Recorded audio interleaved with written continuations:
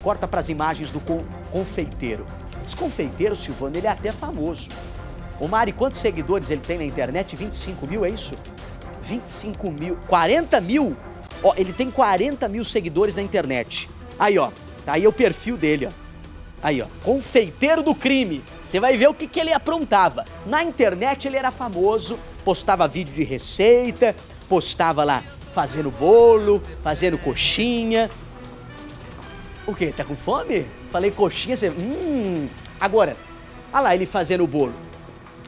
Ele acabou preso depois de roubar um carro e assaltar um posto de gasolina.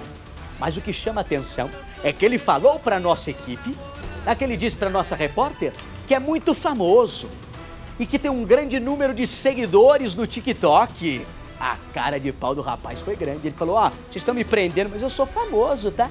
Sou confeiteiro tão famoso quanto o Jacan, tão famoso quanto o Beca Milano. Ah, é brincadeira, hein? Conta outro confeiteiro. Você era confeiteiro para inglês ver, porque no fundo, no fundo, você estava cometendo crime, hein? Coloca aí.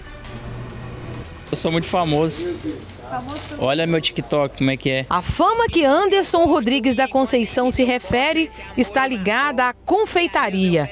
Exímio confeiteiro sempre fez questão de apostar nas publicações das redes sociais.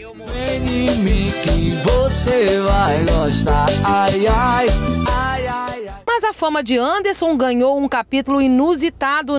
Ele foi preso pela polícia militar depois de roubar um carro e assaltar um posto de combustíveis. Tudo começou quando Anderson e um adolescente de 17 anos renderam um motorista no bairro Jardim Limoeiro, na Serra. Ele teve o carro roubado. Já dentro do veículo, eles vieram para Vitória, dirigiram, chegaram até aqui, esse posto de combustíveis. Simulando que iriam abastecer, eles estacionaram o carro aqui e então desceram do veículo renderam dois frentistas que estavam no plantão.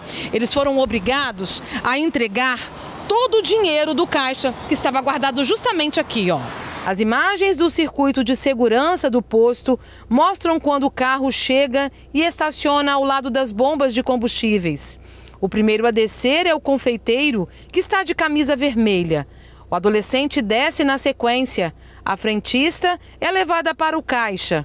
Eles pegam o dinheiro e entram de volta no carro.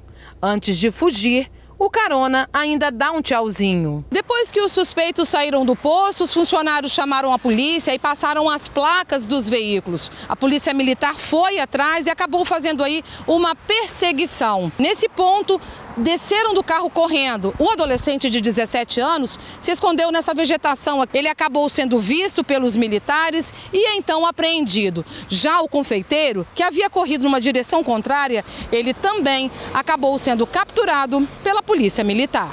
Questionado o porquê cometeu o crime, veja o que o confeiteiro famoso respondeu. Na verdade, a gente saiu por esporte, a gente não ia fazer isso não. A gente é trabalhador, não muda, sou confeiteiro. Só não dá para afirmar se Anderson vai se divertir na cadeia como fazia nas dancinhas feitas nas redes sociais.